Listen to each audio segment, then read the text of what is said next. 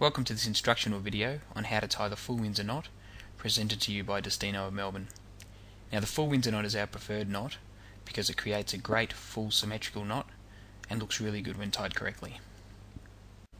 Now the first step required to create the perfect full Windsor knot is to take about 3 or 4 inches of the short end of the tie in your left hand as you see here. Now you only need a very short length in the left hand because the rest of the tie is required to make the knot.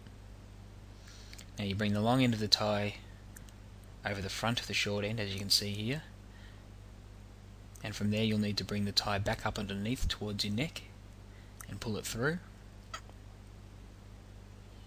and drop it down to the right hand side. Now I'll pause it there for you so you can see how the knot's supposed to look at the moment. Okay, now from there you'll need to bring the long end of the tie back up underneath the knot like so. And the rear of the tie is facing the front there. You then bring the tie across the front of the knot this time towards your neck and pull it back down under the back of the tie. Pull it all the way through and allow it to drop back into your right hand side. Now you'll notice the knot at the moment is a nice symmetrical V shape and the rear of the tie is facing the front.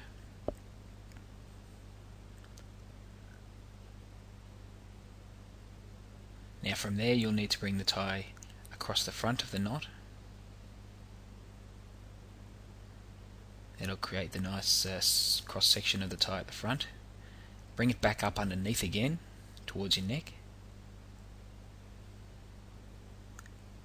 Just hold the knot there. You can tuck your fingers in between the knot then if you want to, but it's just as easy to keep the tie loose. Create a bit of space for you to tuck the tie in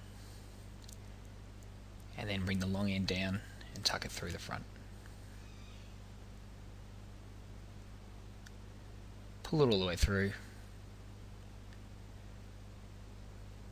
Tighten a little bit and then with the short end of the tie at the back you hold on with one hand and then hold on to the knot with the other and pull it up towards your neck.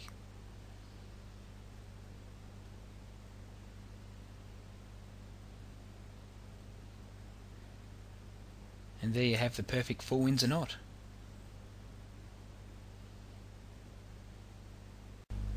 If you'd like to see some more instructional videos on how to tie other knots, please feel free to visit us at www.distino.com.au or you can visit us and purchase our great range of designer silk ties, our French cuff shirts or our cufflinks.